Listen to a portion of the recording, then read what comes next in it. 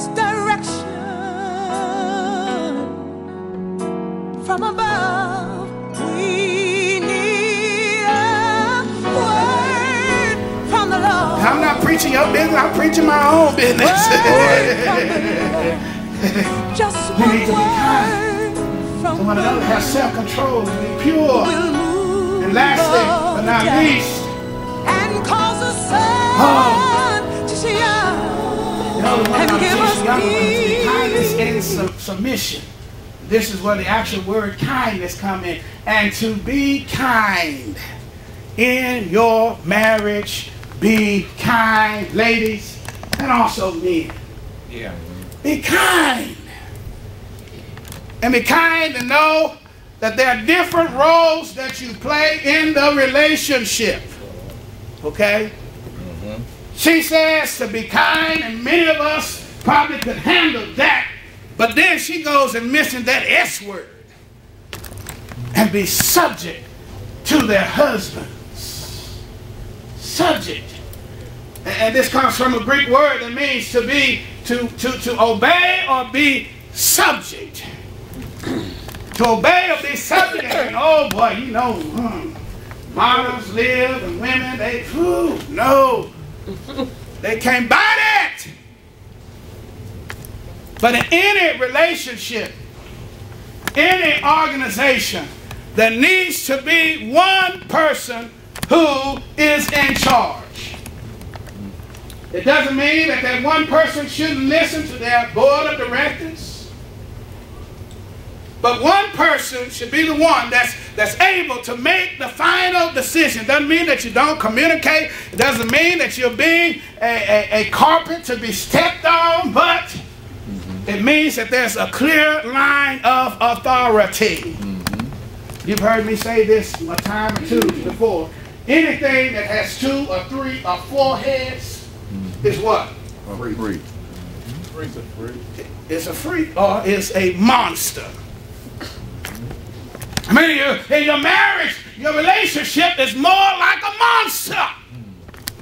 You're fighting for, for, for power and struggling, and, and you're not kind to one another because there's a power struggle going on. Everybody wants to have the last word. No, everybody don't get the last word in the relationship. The man is supposed to get the last word. And I, I think this is the best way, an illustration where the Bible is trying to, was talking about, is that uh, uh, this term means of a Greek uh, military to arrange the troops in a military fashion under the command of the leader. To arrange the troops and military people understand authority. And, and whether they feel like it or not, if the general comes in the place, what's going to happen? They also Stand attention. They're all going to stand at attention. And they're going to salute. Hello? Mm-hmm. His girlfriend saluted. His girlfriend, every time he walk in the room, she stands up. Ooh, that's deep, isn't it? I think it's deep, and you don't think it's deep.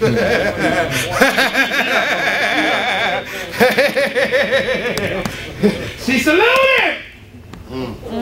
Hello.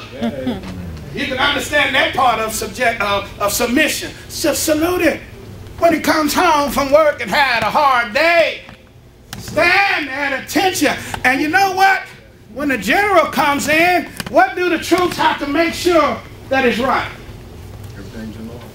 That everything is in order. Everything like what?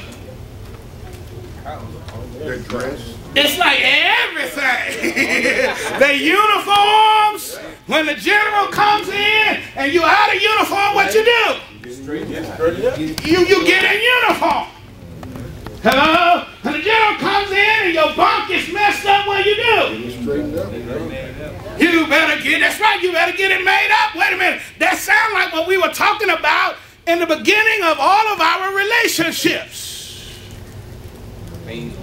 You were subject to him before you even knew you were being subject to him. Well, well, Hello?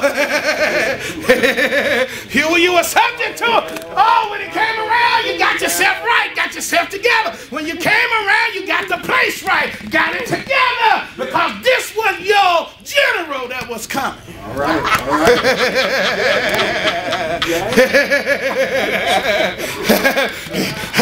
oh, you were already being subject. And that's why he married you. Mm-hmm. But then after he got married,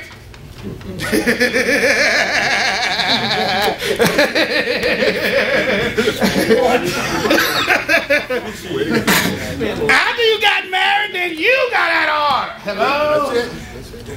Hello? Kindness in marriage. And kindness is key. You were doing it before. You were doing it before. Every woman was doing it before. Every man is the same. That's right. Every man has an ego. And you can uh, stroke his ego. Come on. Or you can allow his girlfriend to stroke it for you. But somebody, is he more happy to see somebody come in the room than you? Why is that? Well, Hello? When you come in the room, it's like a cat. Oh, you back?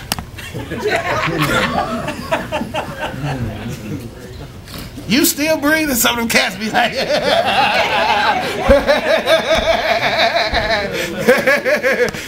but, but, but why is the dog a man's best friend? The dog stroke that man ego. He come in, he's like, oh, master, master, master, master, you home, you home, you home. Love you, love you, love you. Licking you all on your face. When was the last time you kissed him when he came into the room?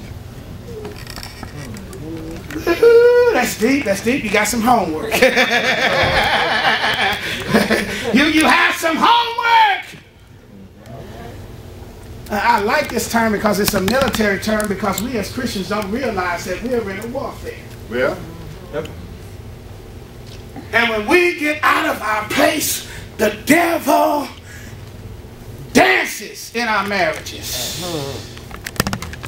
Our marriages are not surviving. You would think Christian marriages will survive more, but they say uh, uh, that Christian marriages are ending at a worse pace than those that are in the world. right. Why is that? I'll tell you why. Because of spiritual warfare. You're in a battle, you're in a war. That devil is coming up against you every day, and if you're not applying God's principles on a daily basis, uh, uh, particularly this principle of kindness, because again, it goes both ways. To be kind. Say it to your neighbor. Neighbor. Oh, neighbor. I'm going to be kind I'm going to. whether I like it or not. That's where the self-control comes in. All right. Paul says he got to buffet his body. Everything that is wrong is easy to do. It seems like the things that are right are the hardest things to do. Hello? And we must have kindness in our marriages because marriage is the very basis of our culture and our society. Marriage is the very basis, and whether you realize it or not, of our church. If we had uh, 25 good, healthy families in our church, you probably could call that revival. All right. That's true. We call that revival. Mm-hmm. But if you have transient marriages, you're going to have a transient church. Hello.